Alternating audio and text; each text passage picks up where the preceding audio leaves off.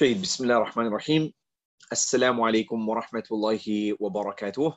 الحمد لله رب العالمين وصلى الله وسلم وبارك على عبده ورسوله نبينا محمد وعلى آله وصحبه أجمعين. أما بعد أهلا وسهلا ومرحبا بكم. Welcome with your brothers and sisters in Islam. أهلا وسهلا ومرحبا بكم. Bismillah ta'ala, we continue our reading through Bidayatul Hidayah by Imam Ghazali rahimahullah. Bismillah ta'ala, in this majlis, we will insha'Allah complete the text. We will begin the third part of the book, walhamdulillah. As was mentioned, Imam Ghazali he has divided this text into three sections. So the first one was dealing with the matters of ta'at, the matters of obedience to Allah the second part dealing with matters of ma'asi, the sins. And in our previous majlis, we dealt with the sins of the heart. Imam Ghazali stressed what? Three sins he stressed. Number one, the matter of hasad. Number two, riya, showing off. And number three, ujub and kibr, where ana, ana, ana, I am the one, I did this, I did that, etc. You think that you are better than all of the other people. Allah musta'an. Now, the third section, and that is, as is stated here, the etiquette of companionship with Allah and the creation. القول في آداب الصحبة والمعاشرة مع الخالق والخلق. So this is the third section بإذن الله بإذن الله تعالى. There's about 12 pages and inshallah we will complete it in this majlis. And so without any further ado, we say Bismillahir Rahmanir Rahim. So Imam Ghazali rahimahullah states, اعلم أن صاحبك الذي لا يفارقك في حضرك وسفرك ونومك ويقظك ويقظتك بل في حياتك وموتك هو ربك ومولاك وسيدك وخالقك. Know that your companion, the one who never ever departs from you, whether you are at home or whether you are traveling, whether you are asleep or whether you are awake, and indeed in your life and at your death is none other than your Rabb, Allah subhanahu wa ta'ala, your protector, your master, and your creator. Whenever you engage in the remembrance of Allah, Allah is with you. As Allah the Most High states, I am the companion of the one who engages in remembrance of me. And whenever your heart breaks with sorrow over the shortcomings, over your own shortcomings in fulfilling the rights of Allah, indeed Allah is your friend and constant companion. As your Lord the Most High, He says, Jaid, I am with those whose hearts are broken for my sake. If you knew Allah truly as He should be known, you would take Allah as your companion and leave the people aside. If you are not able to do this all the time, then beware of leaving your entire night and day devoid of a time spent alone with your master. If you're unable to do this all the time, then don't leave off at least some time of the day or the night that you are like in khalwa with Allah subhanahu wa ta'ala. فإياك أن تخلي ليلك ونهارك عن وقت تخلو به تخلو فيه بمولاك وتلذذ وتلذذ وتتلذذ بمناجاته and that uh, you taste the sweetness of intimate dialogue with Allah subhanahu wa ta'ala. For this, you must learn the manners of companionship with Allah subhanahu wa ta'ala, the mighty and the majestic. And so, for example, a time every day that it's just you and Allah, whether it be the time of tahajjud, which is the best time, Jayid, or between the adhan and the iqamah, or at the end of the day between Salatul Maghrib and Salatul Isha after Asr, sometime, five, ten minutes a day, Jayid. And then he mentions, وَآدَابُهَا and its adab, the manners of this company are keeping the eyes downcast, lowering your gaze, full concentration, remaining silent, stillness of the limbs. So you're performing salah, for example, not shaking and moving the hands and this and that, etc., left, right, and center. Hastening to fulfill Allah's commands, avoiding the prohibited matters, minimal objection, minimal objection to what Allah decrees for you. You accept what Allah has decreed for you. Constant remembrance of Allah, preserving, persevering in contemplation, giving preference to the truth, by turning over all else. despairing of the created beings, not turning to the creation, right? But turning to Allah subhanahu wa ta'ala. Humility with extreme reverence before Allah's majesty. A feeling of brokenness before Allah, coupled with modesty, peace of mind, without resorting to any strategy for earning livelihood, right? والسكون والخضوع تحت الهيبة والانكسار تحت الحياة والسكون عن هي والسكون عن حيل الكسب حيل الكسب ثقة بالضمان. That you don't resort to like strategies. You don't resort to حيل حيل حيل are like loopholes right والتوكل على فضل الله عز وجل معرفة بحسن الاختيار. وهذا كله ينبغي أن يكون شعارك في جميع ليلك ونهار ونهارك. فإنه أدب الصحبة مع صاحب لا يفارقك والخلق كلهم يفارقونك في بعض أوقاتك جيد famous statement of Imam al-Shafi'i that uh, even in the shade your own your own shadow will leave you جيد even your shadow when it's shady your shadow will leave you جيد so Imam Ghazali here he states that have complete trust in the grace of Allah, mighty and majestic, knowing with certainty that the best choice will always be the one that Allah makes. These etiquettes, all of them, should constitute your distinguishing emblem in your day and in your night. Uh, they are the spiritual courtesies of companionship with a friend who never leaves your side. Even as one of the creation will part company with you, at one time or another. Everyone in this dunya, they will part. They will part with you, Jayid. Whether it be your wife, your child, your kid, whoever it might be, there will come a time that you will part. You will separate from them, Jayid. Until death do we part. How many a husband and wife, they said those words. And a few months down the line, they've separated. They, they've ended up in divorce. Allah musta'an, Jayid. And so even your shadow leaves you in the shade. And then he talks about adab al-alim, the etiquettes of the scholar.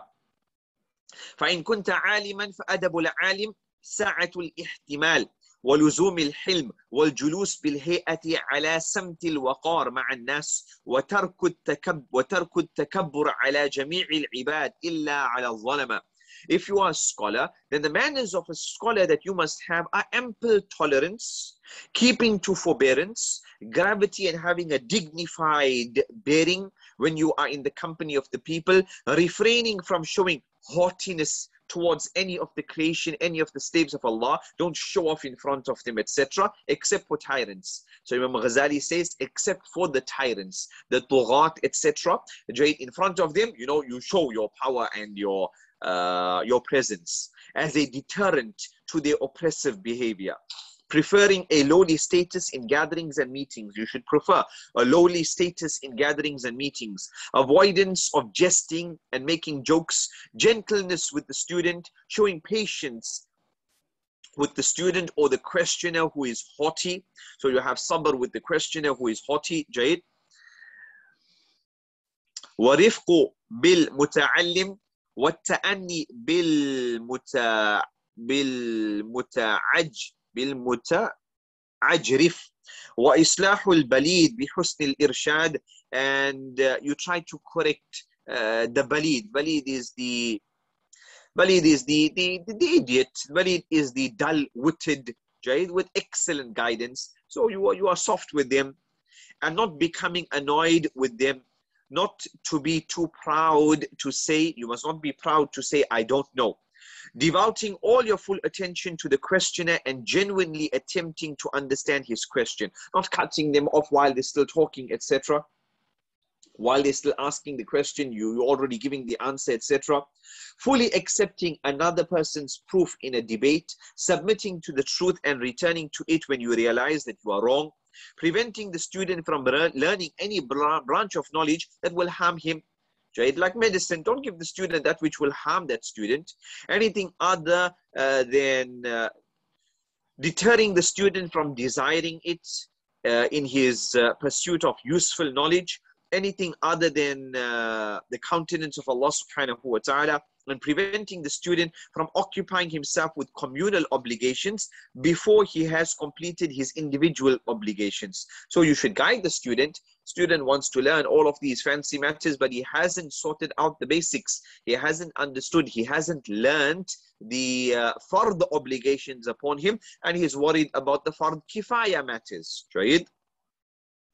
So you prevent him from following the wrong path. because his primary individual obligation is to rectify his outward and his inward with consciousness of Allah, taking account of himself first so that uh, the student may follow him in actions first, benefiting from his example and uh, benefit from his words second. So he states here, قبل الفراغ من فرض العين وفرض عينه إصلاح ظاهره وباطنه بالتقوى ومؤاخذته نفسه أولا بالتقوى ليقتدي المتعلم أولا بأعماله ليقتدي ليقتدي المتعلم اولا بأعماله ويستفيد ثانيا من أقواله. That the student will learn from the actions of the teacher uh, first and then from the statements of the teacher, second. The etiquette of the student, adab al-muta'allim. If you are a student, then the manners of a student with the teacher are to first greet and offer the salutation of peace, not to speak too much in his presence, not to speak unless asked something by the teacher, not to ask questions without first seeking permission, not to say in contradiction to what he has said. So and so, mentioning another scholar's name, but he said X, Y, and Z, and you are saying X, Y, and Z, O Sheikh. Right? Uh, not to point out something contrary to his opinion, thinking himself, thinking that you, the student, that you are more learned than the teacher. Jahid, uh, not to whisper to another student in his gathering, not to look around, but rather to sit with good manners, eyes downcast, as though in ritual prayer, not to burden him with questions when you see that the teacher is tired or weary, not to, uh, and, and you should stand when he stands out of respect, not to follow him from the gathering not to follow him from the gathering, uh, talking to him and asking him questions, uh, not to ask him questions on the way to his house, until he reaches there uh, and grants uh, permission. ولا يلتفت إلى فيرى أنه أعلم بالصواب جيد ولا يلتفت إلى جوانب بل يجلس متأدبا مطرقا كأنه في الصلاة ولا يكثر عليه عند ملا عند ملاله وإذا قام قام له ولا يتبعه بكلامه وسؤاله don't follow him asking him questions etc جيد unless that's fine unless it's okay ولا يسأل ولا يسأله في طريقه إلى أن يبلغ منزله don't continue asking him questions until the sheikh enters into his house ولا يسيء الظن به في أفعال ظاهرها منكرة عنده Jayid, and uh, do not form a bad opinion of the Sheikh regarding actions that appear outwardly to be blameworthy, for he knows better about his own personal affairs. فهو أعلم بأسراره جيد و وليذكر عند ذلك قول موسى للخضر عليهما السلام and if you see something like that then you should remember the story with regards to Musa عليه السلام and Khidr أخرقتها لتغرق أهلها لقد جئت شيئا إمرا. وكونه مخطئا في إنكاره اعتمادا على الظاهر. And so if you see something from the Sheikh, etc., that seems off, uh, don't uh, make inkar of him and don't think bad of him, etc. And Imam Ghazali mentions like Musa alayhi salam and Khidr. Musa alayhi salam felt that what Khidr was doing was wrong, but in reality it was correct. Outwardly it seemed incorrect, but the reality was that it was correct. So Imam Ghazali states that basically you should make an excuse for the for the teacher. Obviously these matters here, there are limits and the balance is the right way. Doesn't mean now, subhanAllah, that for example, uh, you know, you be like, as some have mentioned, that you are like uh, a dead body in front of the sheikh and then he turns you as he wishes, etc. Jayid, you just are sami'na wa ata'na. That uh, creates a cult following. That creates a cult following. Jayid. Uh, everyone's statement is taken and rejected except the one who is in that grave as Imam Malik rahimahullah has stated adab al-walad ma'al walidain the etiquette of the child with his parents. If you have parents who are still alive then the manners of the child with the parents are to listen to what they say, to stand when they stand out of respect, to submit to doing what they say, not to walk ahead of them, not to raise your voice over theirs, to answer them when they call you, to be intent upon seeking their good pleasure, to lower to them the wings of humility, lower yourself out of humility before them, not to remind them of your goodness towards them. I did this and I did that to you, etc. Uh, know of the fact that uh, you are taking care of their affairs for them. Allah musta'an. Not to look at them, uh, not to look at them askance, right? What does that mean? Uh, ولا ينظر إليهما شزرا ولا يقط ولا يقطب وجهه في وجوههما uh, not to frown to their faces to their faces ولا يسافر إلا بإذنهما you don't travel except with their permission know that after the categories above the rest of the people who have relations with you they fall into three categories friends acquaintances and the people you do not know جيد so Imam Ghazali he spoke about Allah subhanahu wa ta'ala then he spoke about the alim, the student of knowledge, and then your etiquettes with your with your parents. After this, it's your friends, your brothers, etc. in Islam, your friends, your acquaintances, and people that you do not know. So number one, al-majhulin. So he talks about the people you don't know first, al-majhulin. People that you don't know.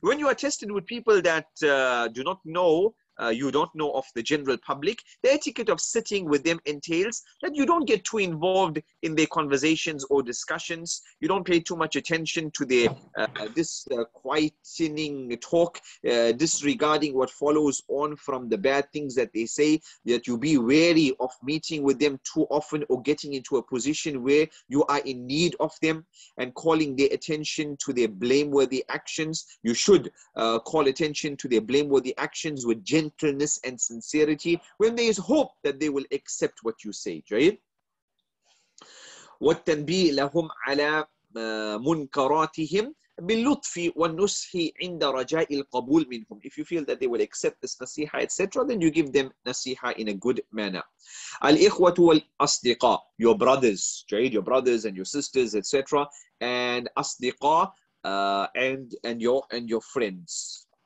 so before entering into such relationships, you must do two things. Right? Before you have a friend, you should do two things.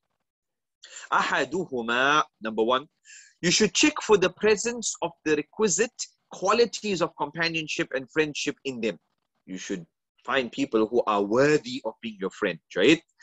Uh, for you should not take as a brother one who is not fit for brotherhood. Prophet ﷺ is reported to have said, a person's religious life is only as good as his friend. So eat, let each of you consider well who he befriends. Hadith reported by Imam Tirmidhi. If you seek a companion to be your partner in learning and your friend in the matters of religious life and in your worldly life, look for five qualities in them. Number one, right? So these are the sifat of a good brother or a good friend. Number one, al-ula, al-aql that they should have an akal, right? Akal intellect, right? They should not be dumb. They should not be silly. There is no good in friendship with a foolish person, for such friendship will only end in estrangement and breaking of relations. This person may even harm you while intending to bring you benefit. For an intelligent enemy, ah, look at this, for an intelligent enemy is sometimes better than a foolish friend. جيد the Arabic جيد والعدو العاقل خير من صديق الأحمق عدو عاقل خير من صديق أحمر أحمق الله المستعان جيد and then he mentioned some poetry of Ali رضي الله تعالى do not befriend do not befriend an ignorant person let both of you and him beware for how many an ignorant has brought to ruin a gentle forbearing man whom he uh, when he befriended him A person is measured by the company he keeps, like one pair of shoe placed next to another. Everything is evaluated by comparison to its peer.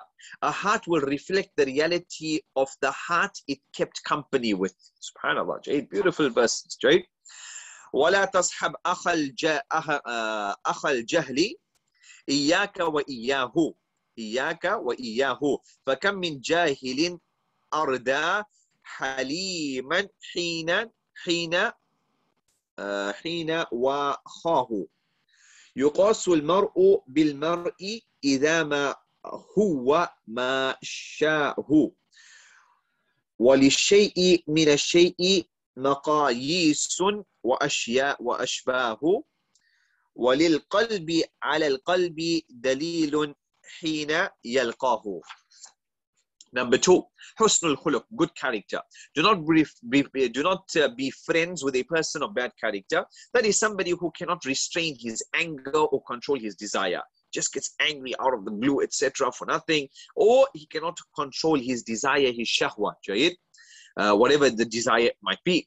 Uh, Alqama al-Utaridi, may Allah have mercy upon him, summarized the traits of good character in counsel advice that he gave to his son when he was near his death. He said, Oh my son, if you wish to befriend somebody, take as your friend a person who, if you serve him, he protects and preserves you. If you spend time with him, he beautifies you by his company. And if you are in financial need, he provides for you. Take as your friend, one who, if you extend your head towards something good, he assists you in it. And if he sees you do something good, he appreciates and remembers it. And if he sees you doing something bad, he stops you from doing it. Take as your friend one who, when you say something, he believes you. When you attempt something, he accepts your leadership. And if you should dispute about something, he prefers you to himself. جيد سبحان الله جيد إذا أردت أن تصحب إنسانا فاصحب من إذا خدمته صانك وإذا صحبته زانك وإن قعدت بك مؤنة آه مؤنة مانعك اسحب من إذا مددت يدك إلى خير مدها. وإن رأى منك حسنة عدها. وإن رأى منك سيئة سدها. اسحب من إذا قلت صدقك.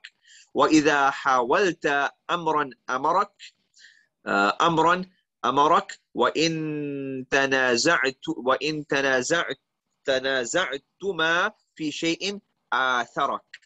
وقد قال علي رضي الله تعالى عنه uh, rajazan and Ali radiallahu ta'ala stated in lines of poetry, verily your true brother is he who is really with you, who will harm himself in order to benefit you. And when the troubles of the time break you, he will shatter himself to pieces in order to gather you together. Subhanallah.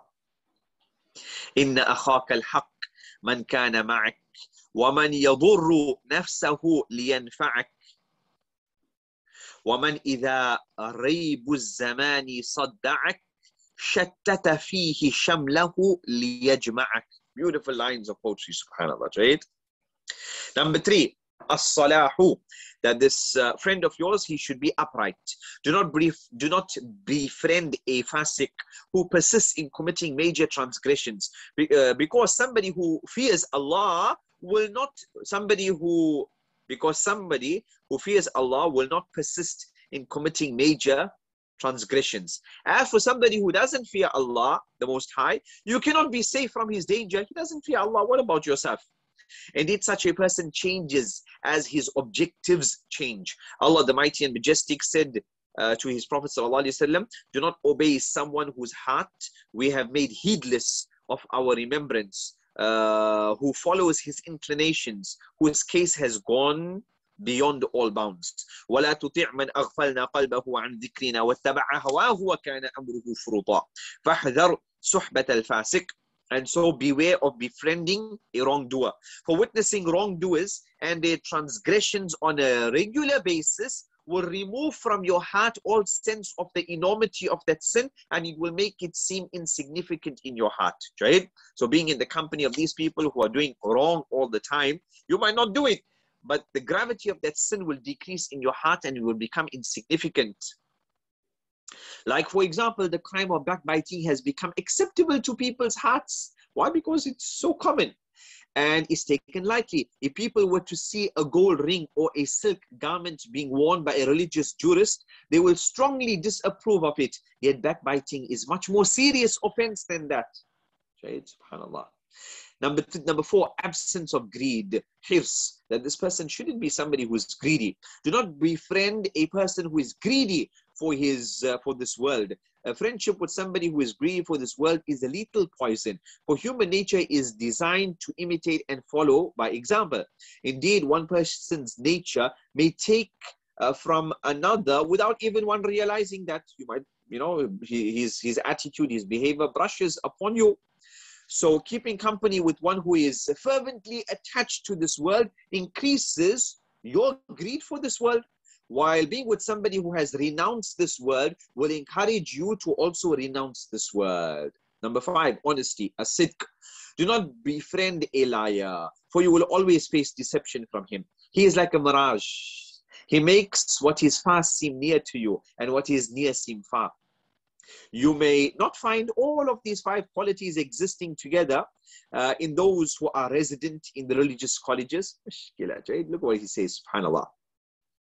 ولعلك تدعم اجتماع هذه الخصال في سكان المدارس والمجالس والمساجد فعليك بأحد الأمرين He says maybe you won't find somebody who has all of these qualities in the madrasas you, you won't find it in the madrasas maybe you won't find this in the khankas and in the masajid etc so if you don't find these five qualities in, in, in the person then you've left with two choices either opt for isolation Imam Ghazali either you should opt for isolation and solitude in which you will find peace and safety, or keep your interaction with your friends proportionate to the level of these qualities within them. So they have some amount of khair in them. So just keep your relationship with them in accordance to the, the amount of good that they have. They don't have full, so you don't be full with them. This is accomplished by realizing that uh, the, your brothers uh, are of three types, right?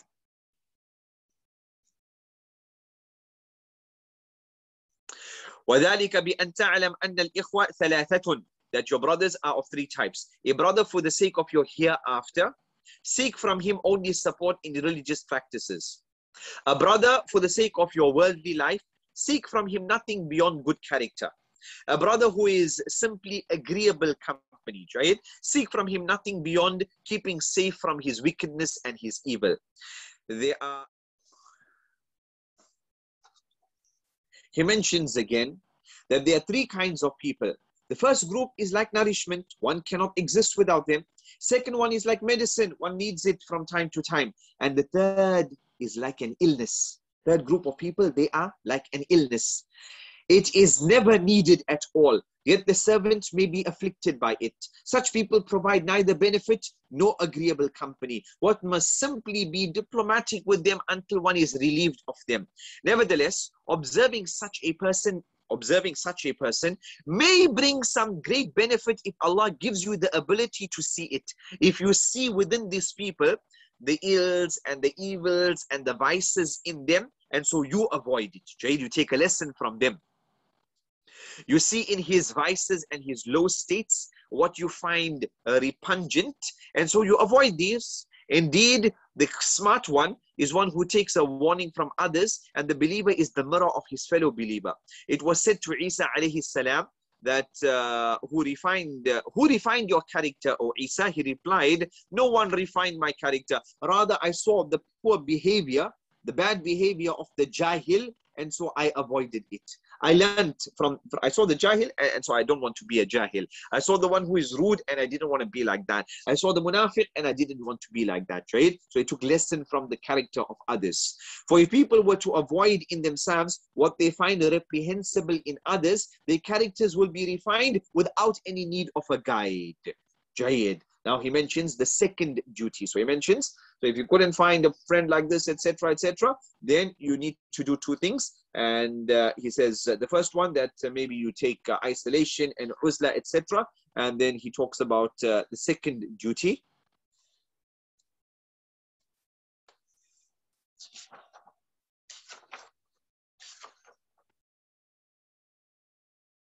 Ah. So the first duty, Jaid, he discussed all of these matters. Uh, the first duty, also take note, something that the scholars mention with regards to Imam Ghazali, that his books, uh, like, like, like books of today, Jaid, uh, like you know we've got a chapter here we've got a subject page. This is what i will be discussing. There's four uh, classes of this matter. This is divided into two sections. So imam ghazali is very uh, organized, very organized in his works, straight. So if uh, we see on page number 135, he said that your brothers and your friends, there are two duties with regards to them. And so he spoke about the first one, and now he's done with the first one. He says with regards to the first duty that uh, uh, you should check for those five qualities. And then he went through the five qualities and then he spoke about what if they don't have those qualities, etc. And he discussed those matters. Now he's going to talk about the second quality. Uh, to respect and fulfill the rights of companionship. Once you enter into a relationship, so you found the right friend, etc., and friendship is established between you and your companion, you are responsible for fulfilling the duties demanded by that bond of friendship and fulfilling them there are certain rules of conduct. Prophet ﷺ said, the likeness of two brothers is that of two hands, that one washes the other. Uh, obviously we said with regards to the hadith etc take it with a pinch of salt uh, the prophet ﷺ once entered a thick uh, garden full of trees and he picked up two uh, toothsticks one bent and the other straight and with him was uh, his companions. The Prophet ﷺ gave the straight twig to him, keeping the bent one for himself. The companion said, Ya Rasulullah, you are more deserving of the straight one. And uh, so he ﷺ said, No one spends time in the company of a friend, even for a short time in the day, without being questioned uh, about his companionship regarding whether he fulfilled the rights of Allah with regards to this companionship. Right? So he's giving like an example that supposedly the Prophet ﷺ gave to that companion, the straight one, right? Because the Prophet ﷺ is fulfilling the rights of a friend, giving preference to the friend over himself. Uh, the Messenger وسلم, also said, No two friends share each other's com- company, except that the kinder and the more caring of the two towards the other is more beloved to Allah, the Mighty and the Majestic. The etiquette of friendship. The etiquette of friendship uh, is uh, to give your friend preference in your wealth, or if you cannot do, do this, to give freely out of your surplus wealth when he is in need, to provide swift assistance. Right? So he states, وَالْإِثَارْ بِالْمَالِ فَإِن لَمْ يَكُنْ هَذَا فَلْيَبْذُلْ الْفَضْلَ مِنَ الْمَالِ عِنْدَ الْحَاجَةِ so the first one he says that when it comes to friendship, you should give freely to your friend, right? If you can't do that, then at least when he is in need, what you have of excess, you give to him.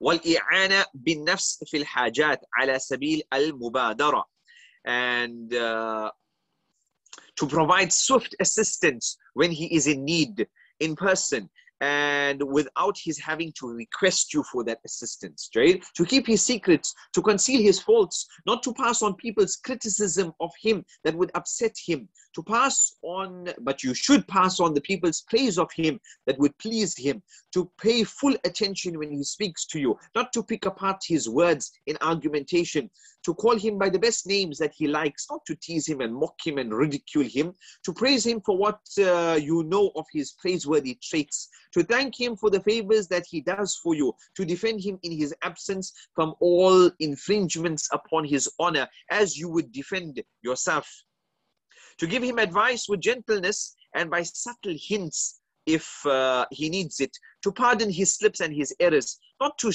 uh, rebuke him and to censure him, to pray for him in the ritual, in the ritual prayer, in your salah, you should make dua for him.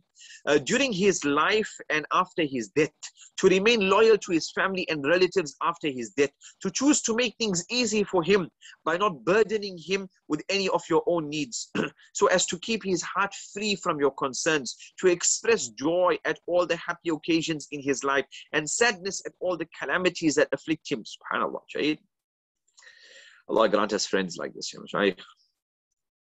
To be in your to be in your innermost heart just as you appear outwardly so that uh, you are truly sincere in your love for him in private and in public. To be the one who initiates the greeting of salam when you meet him. To make room for him to sit down in a gathering to come out of the house to welcome him. Go out of your house when he comes to visit and welcome him, to see him off when he leaves. These here now, you know, you're going to ask, oh, where's the, where's the hadith about this matter here? Where's the specific, these are what you call from the, you know, like, like the etiquettes of Al-Islam. Jayid, the civilization of Islam was very high civilization. Jayid, you find like the posh people, Jayid, they go to etiquette school, etiquette school, Jayid, finishing school. This is uh, that type of etiquette, Jayid. Uh, to make room for him uh, to sit in a gathering, to come out of the house, to welcome him, to see him off when he leaves, to keep quiet when he is talking until he finishes, and to refrain from interrupting him. In short, you should treat your friend exactly as you would like to be treated. You can underline that, right? For truly, the brotherhood of a person who, who does not love for his brother what he loves for himself is merely hypocrisy and you will have uh, evil consequences uh, for him uh, both uh, in this world and in the hereafter. These are the courtesies due to people in general that uh, you do not know and uh, to those close friends who are your brothers. These are the courtesies. فهذا أدبك في حق العوام المجهولين these are the etiquettes that you should have with the general people that he's already covered. وَفِي حَقْ الْأَصْدِقَاء وَالْمُؤَاخِينَ And then he discussed the etiquette with your friends and those uh, close to you, right? Al-ma'arif, acquaintances. The third category is of acquaintances. Be cautious of them because you will not encounter antagonism except from people who are acquainted with you. A true friend will help you, and somebody you do not know at all will not trouble you. But all the animosity you will encounter, they will come from your acquaintances who express their friendship only with their tongues. You should therefore limit your acquaintances as much as possible.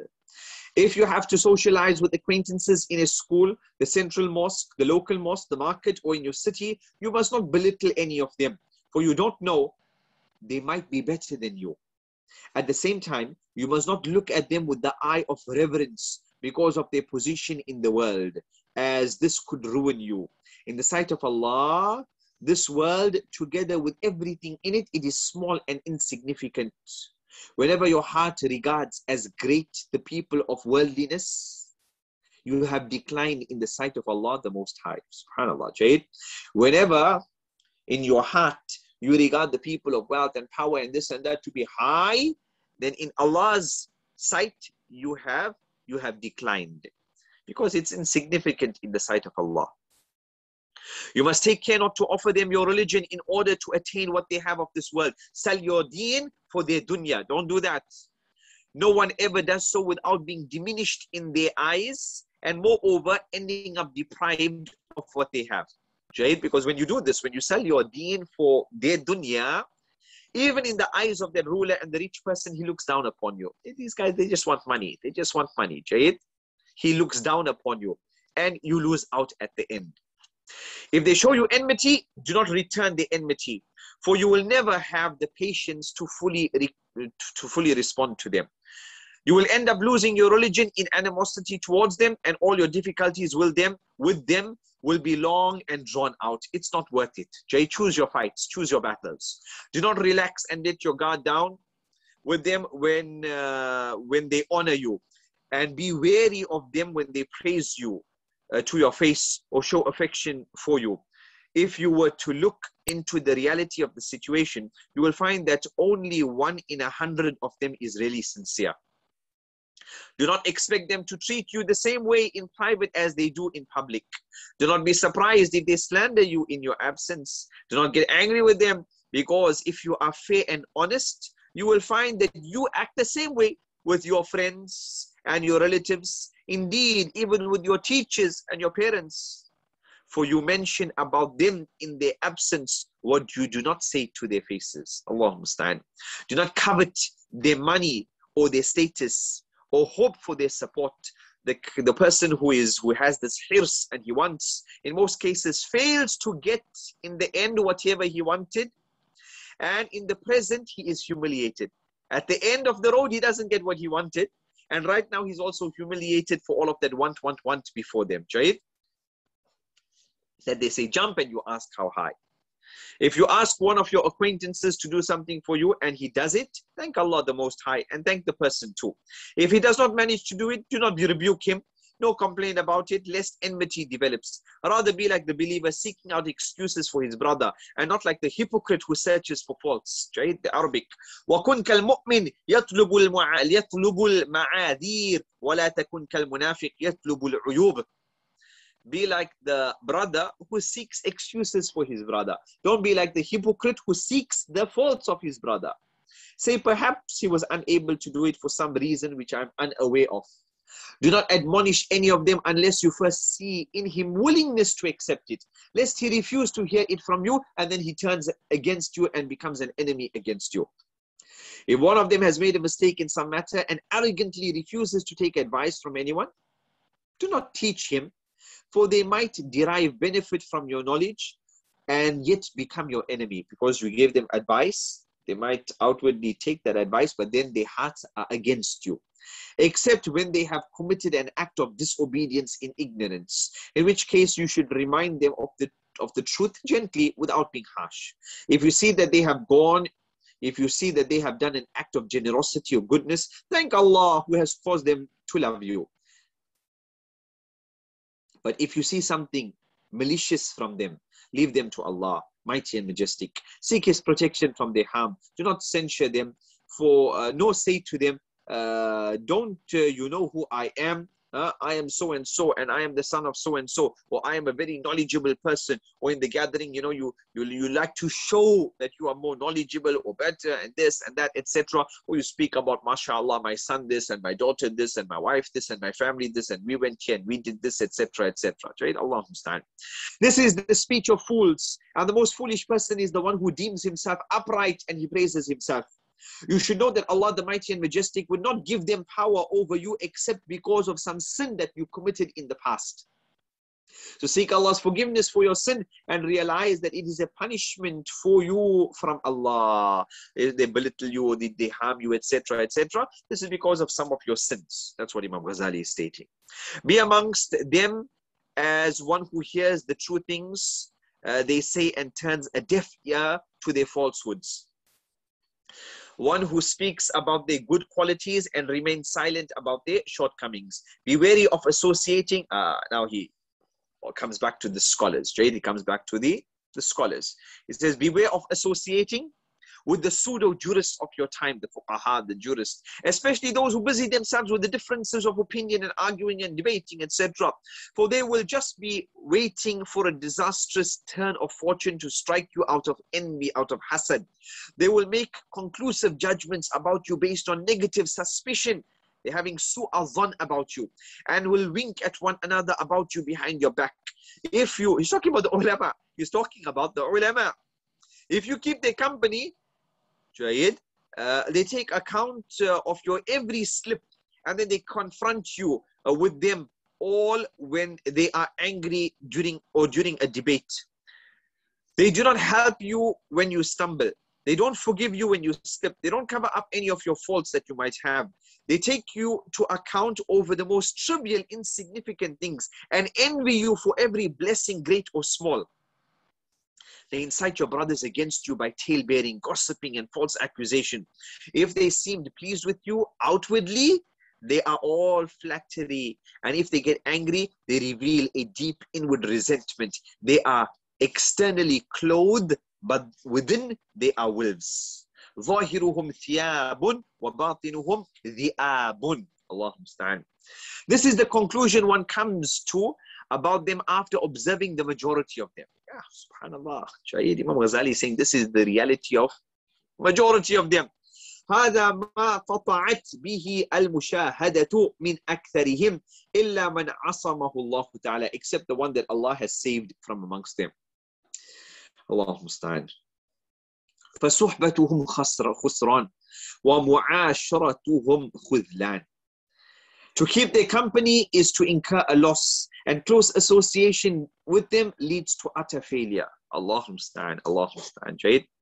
This is the judgment of one who affects uh, friendship outwardly. Uh, what then of those what then of one who openly shows enmity, enmity to you? If this is the reality of the one who outwardly he shows that he's your friend, but the reality is that he is not. If that's the case, if, if this is the case with him and how you should behave towards him, etc., and run from him, then what do you think about who the one who openly is an enemy towards you? Take the advice of the one who said, Be cautious of your enemy once, yet be wary of your friend a thousand times. For it may be that the friend will turn against you and then knows better how to harm you. جيد سبحان الله. احذر عدوك مرة واحذر صديقك ألف مرة فلربما انقلب الصديق فكان أعرف بالمضرة that when the friend turned into an enemy, he knows now how to harm you. He knows your soft spots and your weak spots. It has been similarly said, your enemy may sometimes come from your friends. So do not have too many friends. For most of the diseases that you see have the origins in eating and drinking. عدوك من صديقك مستفاد فلا تستكثرن من الصحاب فإن الداء أكثر ما تراه يكون من الطعام أو الشراب جيد he says that don't have uh, uh, your your enemies sometimes will come from your friends and so don't have too many friends just like how just like how most of the diseases that you find they come via the food and the drink okay the food and the drink most of the diseases come from food and drink and so decrease in your food and drink and similarly, most of your enemies will, might come from your friends. Allah musta'an. وكن كما قال هلال ابن على الرقي and uh, he mentions when I forgave all and harbored no rancor towards any. I relieved myself of the worry of enmity. Indeed, I give good greetings to my enemy upon seeing him, so as to repel evil with salutations, with salam. I display joy in meeting one I despise, as if he has filled my heart with happiness. I am not even safe with those I do not know. How then could I be safe with those who affect loving me? People are in illness and their cure is abandoning them. By harshness towards them, the bond of brotherhood is cut. So make peace with people and you will be free and you will be safe from the troubles they cause. And be avid to acquire chivalrous traits. Deal with people with good character and be patient as long as you remain with them. See no evil, hear no evil, speak no evil, be you circumspect. فخالق الناس واصبر ما بقي ما بقيت لهم أصم أبكم أعمى ذا تقيات Be as some of the sages have said, meet your friend and your enemy with the same face, one of contentment, neither lowering yourself to them in humiliation, nor looking up at them in awe. Have a dignified bearing without arrogance and show humility without abasement. Take the middle course in all of your matters because both extremes in any matter are blameworthy. Do not look around from side to side with self conceit, nor constantly glance behind you. Do not stop and talk to every group you come across. And if you do sit down with them, do not sit in a restless manner etiquettes. Make sure you avoid clasping your fingers together, playing with your beard or your ring, picking your teeth, uh, putting your finger in your nose, a lot of spitting or clearing your throat, swatting flies from your face, or too much of stretching and yawning, whether in front of people, in the ritual prayer, or elsewhere. Okay? Be have some etiquette, have some manners, right? Be mu'addab uh, when you are with people, just opening up your mouth and yawning and screaming and passing wind and uh, rude and rough. Jaid. Rather, let the way you sit be quiet and calm. Let your speech be orderly and thought out properly. Pay proper attention to the good conversation of the one speaking to you without showing exaggerated amazement and do not ask him to repeat himself. Remain silent when people are joking and telling stories.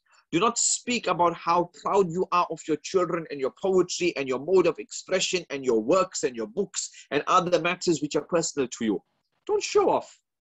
Do not go to great lengths to dress yourself up as a woman does, nor let yourself be unkempt and unruly. Take the middle path like a slave, right? Uh, don't be unkempt like a slave, etc. Nor be, mashallah, to such a level like a woman. Avoid wearing too much of kuhl in your eyes or being extravagant in the use of oil.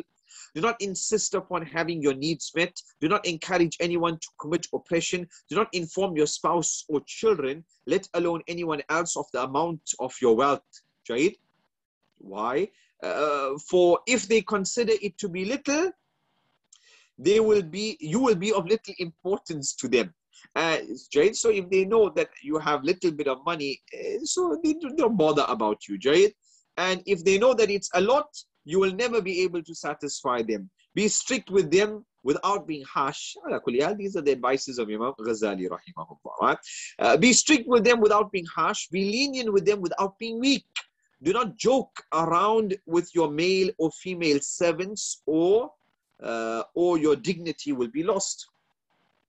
In arguments with others, guard against your own ignorance and rashness. Consider well your points before you make them. Do not uh, uh, gesticulate too much, too much movements, etc. Right? Uh, keep turning. Uh, don't keep turning around to look at those behind you or fall to your knees.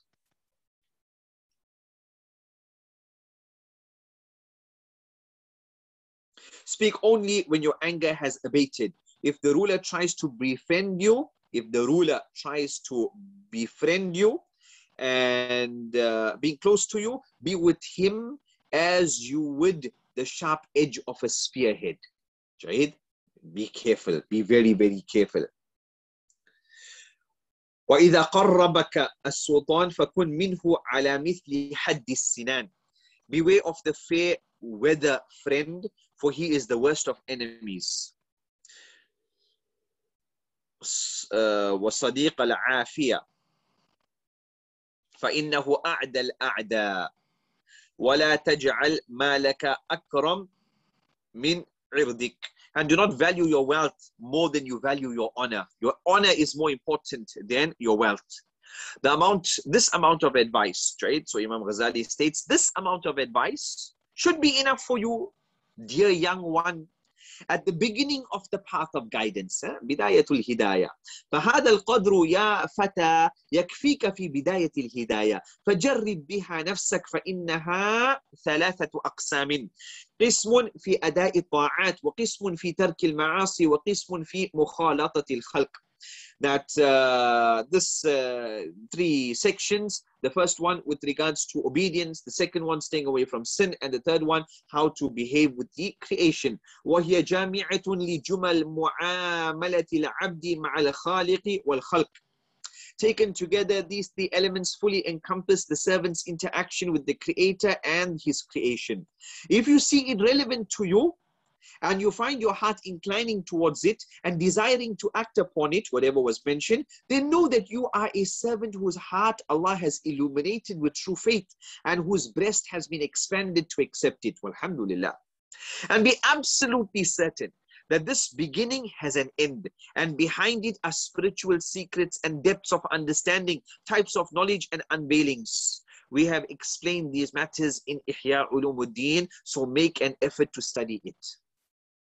If, on the other hand, you find that your nafs, yourself, considers these tasks in this book, etc., too burdensome and regards this kind of knowledge to be too much of trouble, asking you how and it's asking you, how will this type of knowledge benefit you? And your nafs is asking you, how will this type of knowledge in this book, etc., benefit you in the gathering of the scholars? And how will it cause you to excel amongst your peers and your colleagues? How will it raise your status in the meeting of the leaders and the ministers? How will it afford you connections with noteworthy figures, higher earnings and money and position and rank in endowments or in the legal courts, your nafs is asking, how, how is all of this here going to get you that? If that's the case, know then that shaitan has misguided you and caused you to forget your destiny, your end, which is to return to Allah and your final abode in the hereafter. So what you should do is, you should find a shaitan like yourself to teach you what you think will bring you to your goal. So you should find another shaitan like yourself who will teach you all of these things that you, you, you want. You want the position and the fame and you want to compete with this one and that one, etc. And know with certainty that any dominion that uh, any dominion you may have in your immediate locality, let alone in your own town or country, will never be without troubles. Moreover, in exchange, you will lose the everlasting dominion and place and position and eternal bliss in the proximity of Allah Rabbul Alameen. You will lose all of that. He is enough for us. هو حسبنا ونعم الوكيل والحمد لله رب العالمين وصلى الله على سيدنا محمد وعلى وآله وصحبه وسلم تسليما كثيرا إلى يوم الدين and he is enough for us the best of uh, patrons. All praise is due to Allah, Lord of the worlds. May Allah continue to send blessings and abundant peace upon our Master Muhammad sallallahu alaihi wasallam, his family and his companions until the day of judgment. And we ask Allah subhanahu wa ta'ala to illuminate the qabr of Imam Ghazali rahimahullah. We ask Allah subhanahu wa ta'ala to record our sitting, our learning, our studying, our going through this text here in our scales of good deeds. This is a text in reality that one should revise every now and then. Many of the scholars, they would say that this text here, you know, you should revise it uh, maybe every second month, every third month, once a year, etc. Very simple, easy text. You also have the audio book of this text in Arabic available on YouTube. Now, alhamdulillah, the English is also available here. We've gone through it in five halaqat, five halaqat, Jayid. We've completed, ta'ala, the entire text. We ask Allah subhanahu wa ta'ala to record our sitting here in our scales of good deeds. We ask Allah to bless us and keep us blessed. We are I mean, Imam Ghazali, as he said, this is bidayatul hidayah. Bidayatul hidayah. Jayid. Allah musta'an. If this is the bidayah, how far are we? Jayid. Allah musta'an. Allah musta'an. Jayid. Look at the qualities he gave there with regards to a friend. Jayid. Uh, forget the friend. What about ourselves? What qualities of these do we have? Jayid. Allah, how dignified are we in our gatherings and in our alaqat and in our relationships with people, etc. Jayid when he talked about uh, uh, having that khalwa with Allah subhanahu wa ta'ala. We are so busy, we will spend hours on end on social media and the internet and watching this and doing that, etc. etc. How much of Quran will we read a day? Jayid? How many of us have read any Quran today? Allah musta'an Jayid. Uh, and especially as you can see, Imam Ghazali, part of his project towards the end of his life was focused on the ulama, focused on the du'at, focused on the fuqaha and the jurists, etc., knocking them and whooping them, Jayid, because he's one, been there, done that, etc., etc. Jayid, Allah musta'an, Allah musta'an.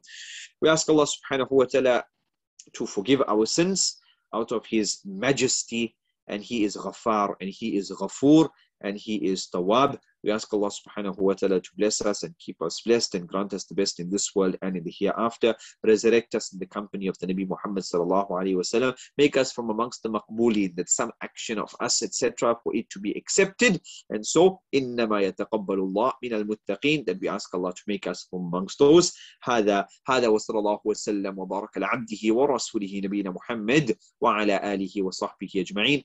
جزاكم الله خيرا بارك الله فيكم. السلام عليكم ورحمة الله وبركاته.